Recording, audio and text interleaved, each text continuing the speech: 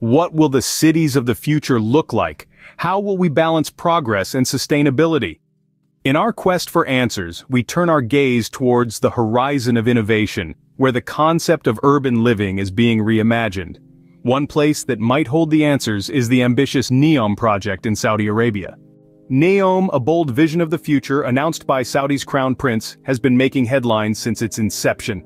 Nestled within NEOM's ambitious projects is the Line City, a unique beacon of innovation. Imagine a linear city, self-sustaining, designed without cars, roads, or emissions. Picture two 500-meter tall buildings and amenities within a five-minute walk. This is The Line, a city that is not just thinking outside the box, but redesigning the box altogether.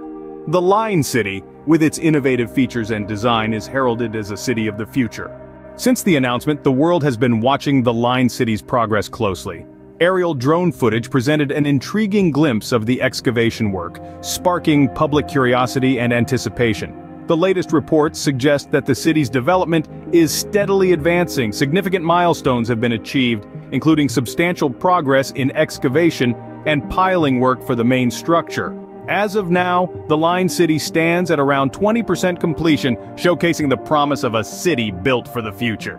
However, the ambitious project has not been without its share of controversies. Critics question the sustainability of such a large-scale city, pointing to potential carbon footprint implications. Ethical concerns have also surfaced, primarily around human rights issues. Reports of forced relocations and legal controversies have sparked intense debates. Yet, these challenges don't overshadow the project's bold vision. The balance between progress and addressing these criticisms will be crucial for the project's success. So what does the future hold for the Line City and Neom?